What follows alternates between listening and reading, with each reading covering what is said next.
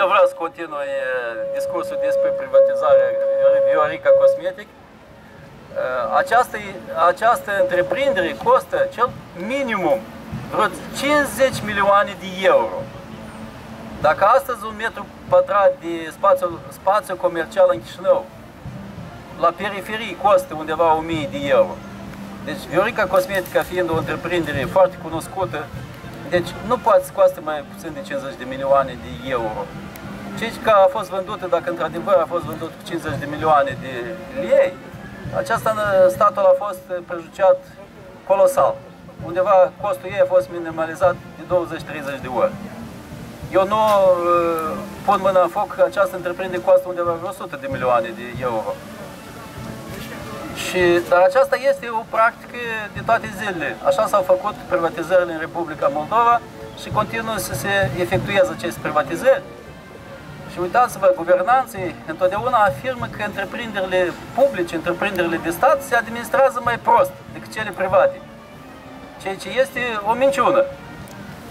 Ele ar trebui să se administreze mai bine. Dar uitați-vă ce se spune că întreprinderile publice se administrează mai prost. Adică guvernanții spun că noi, ei, adică ei afirmă, că ei uh, lucrează prost, că ei administrează prost proprietățile publice și din ce motive ele le administrează prost?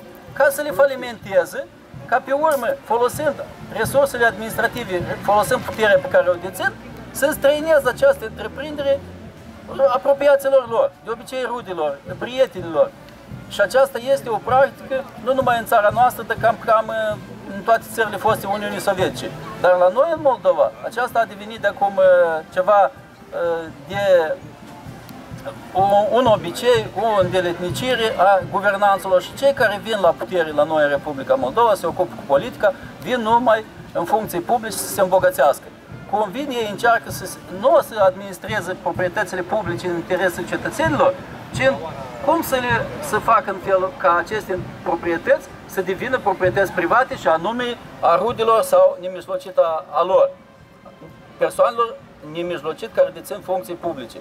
Și iată tot ce acum s-a decis de a privatiza întreprinderile publice, vor fi privatizate pentru, o sume, sum, pentru sume uh, simbolice, ca mai apoi să nimerească mâinile anumitor persoane Uh, care sunt uh, foarte apropiați sau chiar nemijlocit rude cu cei care o dețin posibilități de înstrăinare convenabilă a întreprinderilor publice. Eu